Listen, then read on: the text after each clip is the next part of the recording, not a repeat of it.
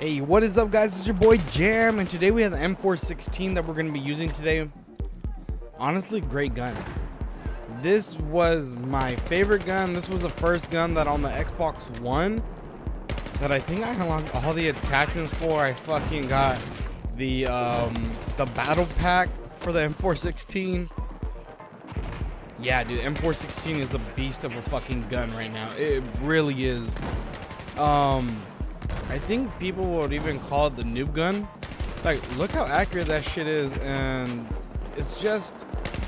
I don't even know why I cut that out. I probably died right there, actually, if I think about it. Eh, who cares? Other than that, gun's a great gun. The high fire rate is what I really love about it. Oh yeah, I literally spawned on the guy right before he killed himself or he died.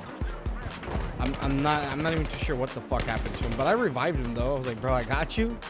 Don't even trip, dog. I got you.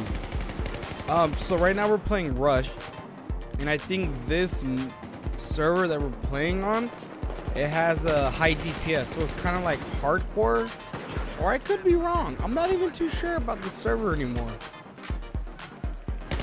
But just so everybody does know, I love playing hardcore. If there isn't any hardcore servers playing Rush or even like TDM, then I'll play core. I'll play core Rush but if there's hardcore for sure, I'm I'm just a hardcore player. I just I don't know what it is. I don't like core as much. I love hardcore matches.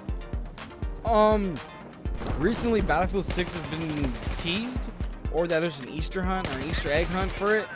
One of the developers actually put tick tick tick meaning that very soon hopefully maybe a trailer, but we do know for sure Battlefield 6 is coming out in 2021, which sounds like an amazing thing because if they're going back to modern, which I freaking hope, dude, like if they put Battlefield 3 and Battlefield 4 together, which kind of Battlefield 4 it already is.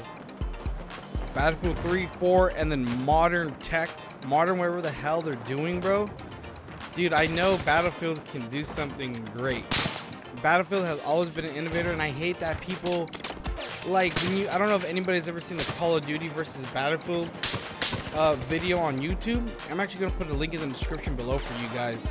Um, but that video is freaking dope. It's like this old game that came out in 2013 compared to Call of Duty Modern Warfare right now. It's like, bro, we we used to be able to parachute. We were able to execute.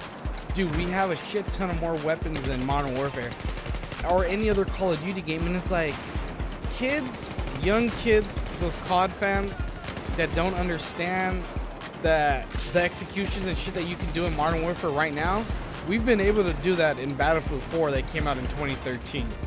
You, you guys do know that, right? Large scale battles, conquest, ground. Dude, this is ground war for you guys.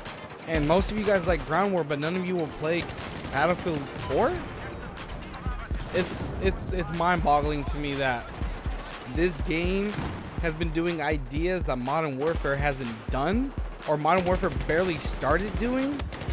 And it's like, whoa, Modern Warfare, and it's like, yeah, you guys don't understand. Battlefield 4 was like that, and then Battlefield 1 and 5, I don't know what the fuck happened to those games.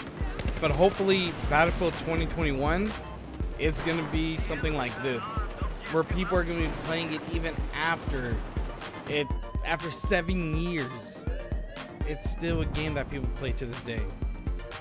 Well, hopefully you guys did enjoy this little bit of commentary. And if you guys did, please leave a like. Please think about subscribing because I am going to be releasing more guns for my Gunmaster series for this game. And I'll catch you guys next time. Peace.